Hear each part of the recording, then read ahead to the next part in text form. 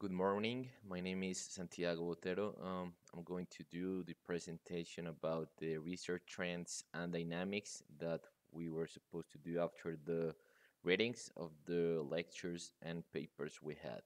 This is for the degree work seminar, and we are in the 2021 second semester.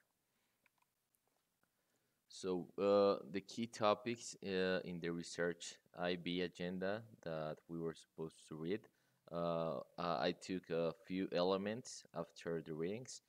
The first one is uh, clarifying the topic that I'm going to be focusing on. It's gonna be the international business review. Uh, I really like this topic because it's directly related to the whole IB environment.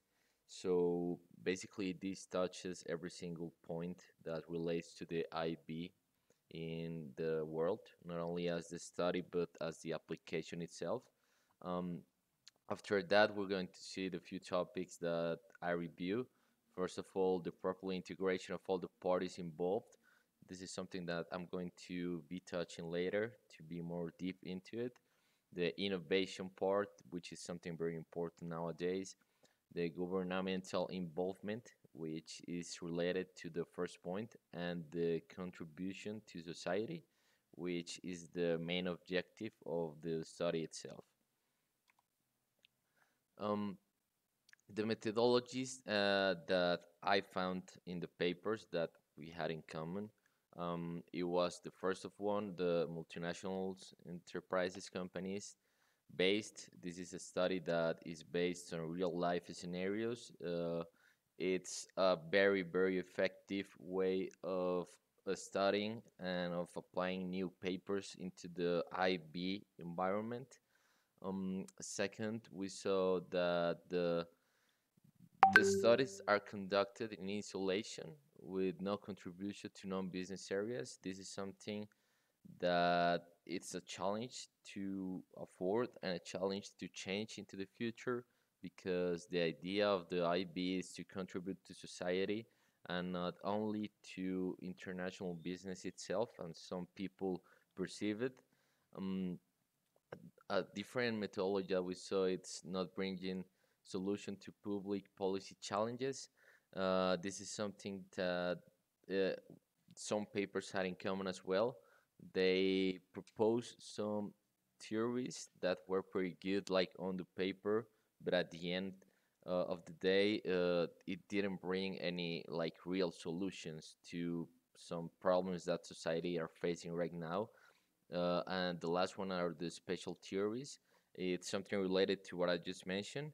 Uh, our theories that they're like paper based and they're pre-guided on theories that have been developing through the past of the years, but they don't like go after the paper, just like on the theory, but at the time of putting in practice is not as much as effective as it should be. Um, then uh, we have the commonalities in the research uh, conducted by the IB journals.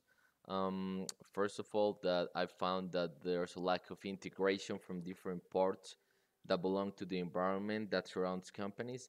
This is a pretty common and usual mistake in the IB papers that I read is that usually the people mainly focuses on only like the company itself, not taking into account the rest of the parts that a company belongs to. There's a society, there's an environment, there's an external and internal factors in the company that we must take into account. And this is something that definitely it's missing the papers need to be integrated the whole parts to make like a realistic scenario and a realistic paper of how the international business are going to affect and are going to help the world evolve to better uh, life. Uh, I also saw that the IB journals are based on different disciplinary traditions. Uh, a lot of papers that have been developed through the past of the years a lot of different theories that has been uh, evolving in the last years uh, and less uh, so that there's focus on solving real world issues related to the impact of policies to our multinational enterprises, real scenarios. This is related to the first point that I touched as well. Uh, it's about being realistic. Uh, then we have how does research and IB contribute to the practice? Uh, it contributes in different aspects such as innovation, development of, of plans for the future. It helps companies and related parts to be proactive instead of reactive. This is something that COVID 19 taught us very well very hard way. Uh, it also helps with the sustainability and last, the adaptation to the environmental circumstances. Last, we have the key opportunities and challenges for researchers in the IB field. We have contributing with opportunities, opportunities and risk identification. This is a very key topic here because uh, having a good IB field investigation will help us a lot as society and not only as a company to identify possible opportunities to be better at.